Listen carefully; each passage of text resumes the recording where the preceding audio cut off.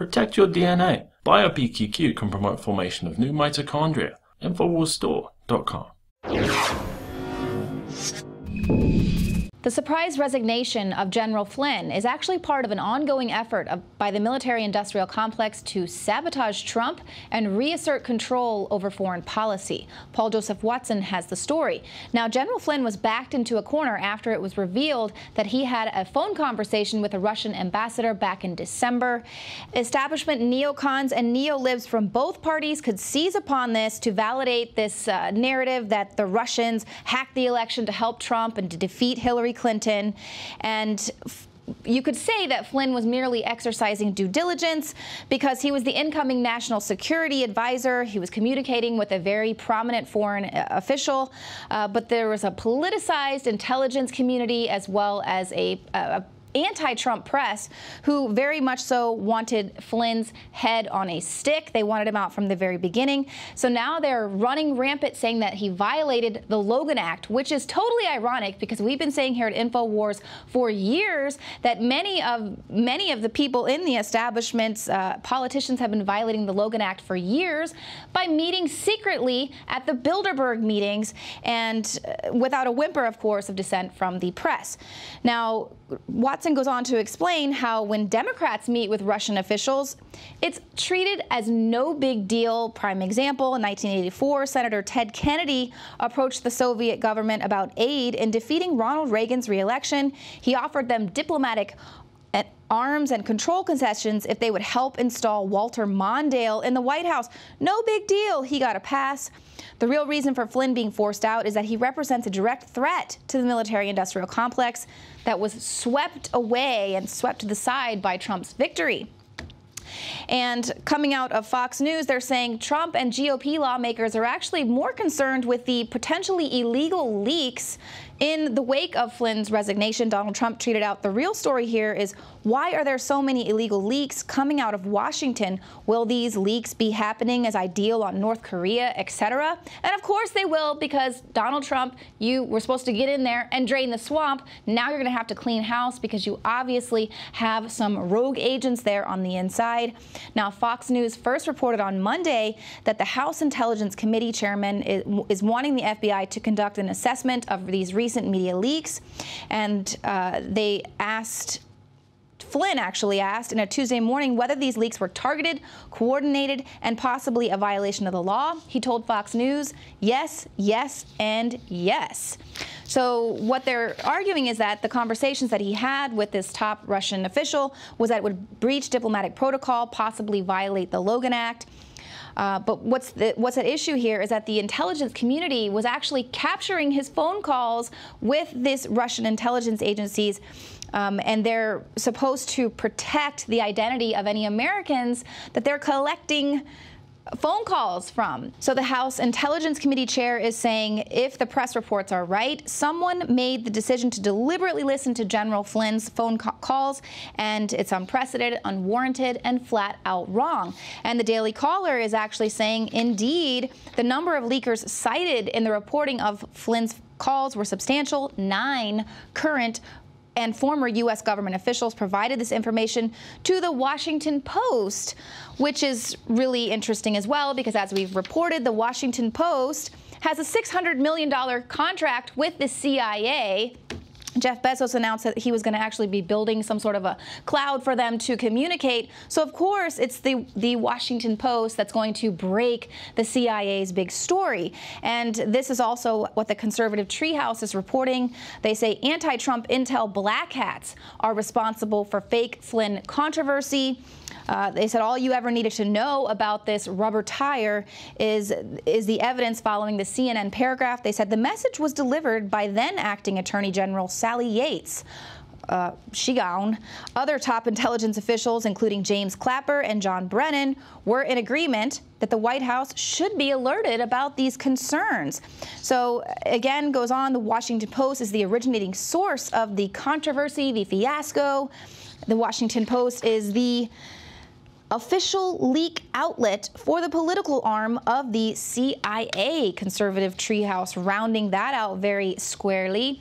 And um, also, coming out of the Free Beacon, former Obama officials, loyalists, have been actually waging this secret campaign to oust Flynn this abrupt resignation is actually culmination of a secret months-long campaign by former Obama administration confidants to handicap Trump's national security apparatus and preserve the nuclear deal with Iran. This is according to multiple sources in and out of the White House. Uh, they talked directly to the Washington Free Beacon. They wanted to speak obviously anonymously, just uh, not to jeopardize their, their position there in the White House. They say that Flynn was set to expose some details about this Iran deal that were previously hidden. And uh, so Obama officials and loyalists planted a series of stories to discredit Flynn and bolster this Iran deal. And I recall that we actually reported on this uh, a while back that Obama was setting a lot of these traps, a lot of these landmines to stump Donald Trump, knowing that once Trump took office, he would be able to see behind the curtain of all of the secrecy within the most transparent administration ever. Everything they were coming out telling the American people that this Iran deal was a great deal and for whatever reason they backtracked on it, that was never revealed to the American people. And that's what Flynn, who has persistently been a thorn in the side of the Obama administration, particularly when it came to this Iran deal, he was always speaking out against it, and he was set to expose um, some of the details there. So uh, these these uh, sources are telling the Free Beacon that the effort, which is said to include the former Obama administration advisor Ben Rhodes, uh, included a small task force of Obama loyalists who deluged media outlets with stories aimed at eroding Flynn's credibility. And uh, one veteran national security advisor said it's undeniable that the campaign to discredit Flynn was well underway before Inauguration Day, with a very troublesome and politicized series of leaks designed to undermine him. The pattern reminds me of the lead up to the Iran deal and probably features the same cast of characters. And they go on to say, you know, it just doesn't add up. Donald Trump's never really had an issue with uh, playing with the truth a little bit, uh, you know, or hiding certain things or covering up for people. So why all of a sudden would they just oust Flynn? It doesn't add up. That's their opinion, not mine. But uh, another source who serves as a congressional advisor and was involved in the 2015 fight over the Iran deal said that the Obama administration feared Flynn would expose the secret agreements with Iran. Um, this would blow up their myth that it was a good deal that rolled back Iran. So in December, the Obama NSC started going to work with their favorite reporters, selectively leaking damaging and incomplete information about Flynn. After Trump was inaugurated, some of those people stayed in, some began working from the outside, and they cooperated to keep undermining Trump. So last night's resignation was their first major win, but unless the Trump people get serious about cleaning house, it won't be the last. So this is a lot of uh, different sources here talking about the fact that it's black hats, uh, a secret coup going on with the shadow government, that this has been going on pre-inauguration. Uh, Obama is surprisingly going to be one of the very few presidents that decides to stay in Washington, D.C. after he's out of office. You know, you, you'd think that you would just see him off in Hawaii playing golf forever and ever, but instead he decides to move to D.C. and build a huge wall around his new home. Very peculiar there. And some Russian insiders are fearful that the Washington establishment is actually going to attempt to assassinate Donald Trump. This is according to a magazine with deep ties to the globalist elite. Uh, it's buried deep within a foreign policy article about how the Kremlin is confused with how to respond to Trump's role as a revolutionary insurgent with a mission to dismantle America's old regime. From conversations with Russian policymakers and experts, the article makes clear that power players in Moscow are concerned about Trump even being able to see out his first four years in office. The Kremlin fears that Trump may be ousted or even killed. And uh, they say that this is bound to unleash a virulent and bipartisan anti Russian campaign in Washington. Now, foreign policy, here again with this reporting, this is uh, foreign policy. It's owned by the Washington Post company, uh, Graham Holdings Company, and it's headed up by C uh, CEO David Rothkopf, who's a top globalist and a member of the Council on Foreign Relations, a former managing director of Kissinger Associates. So foreign policy would know what's going on with these high-level um, players in Moscow. But it's very interesting to see kind of the changing of the tides because you have your establishment media people who are freaking out over the fact that Donald Trump and his team are able to control what is going on in the White House uh, press briefings room. They are used to having all of their establishment reporters in there able to ask the question. And so they've been putting out this narrative with Flynn all weekend. And they were really upset that when President Trump met with Canadian Prime Minister Justin Trudeau at a joint press conference on Monday, none of the reporters asked Donald Trump about Flynn. And they were pit, really peeved about it. They actually went on to have several nightly news segments about um, these journalists.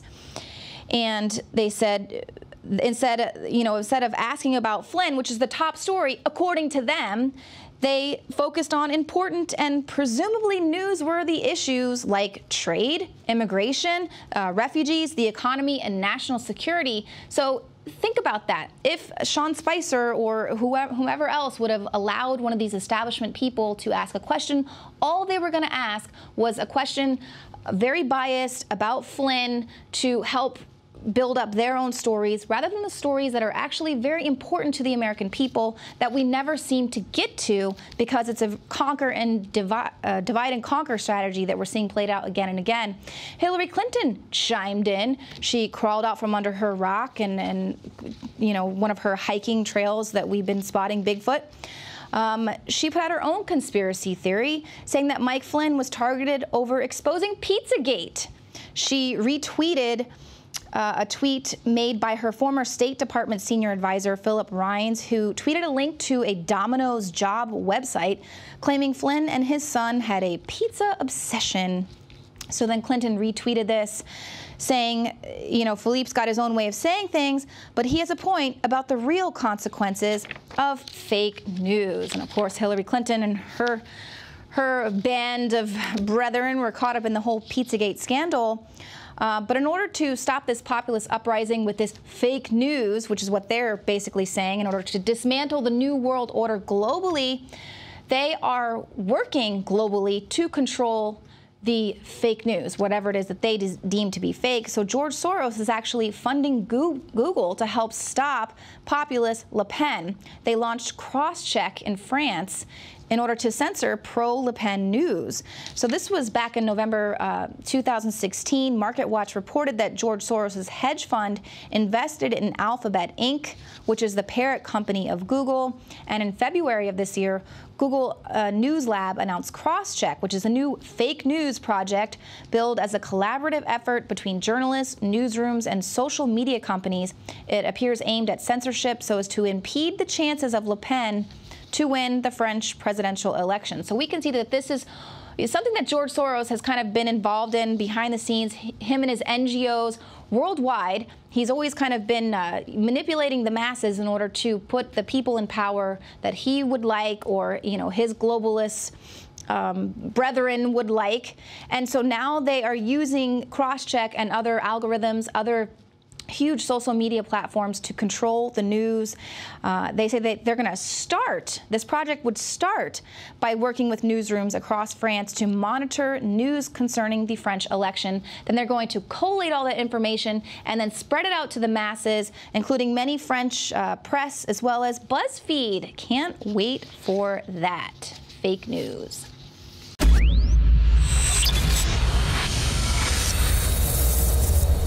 In case you haven't heard, InfoWars has become the most influential media outlet in America. We're making freedom go viral. And now we are proud to announce a new weapon in the epic battle against the globalists InfoWars Prime, where you can watch live high definition feeds of The Alex Jones Show, plus exclusive insider videos from the InfoWars crew and behind the scenes action. Go to InfoWars.com forward slash app and download today today. InfoWars Prime is available right now for your iPhone or Android. You will have access to exclusive videos that you can't see anywhere else. And that means live coverage of events and breaking news on location as it happens. You can also take advantage of amazing deals from the InfoWars store that are only available for InfoWars Prime subscribers. That's InfoWars Prime at Infowars.com forward slash app. And if you can hear my voice, you are the resistance.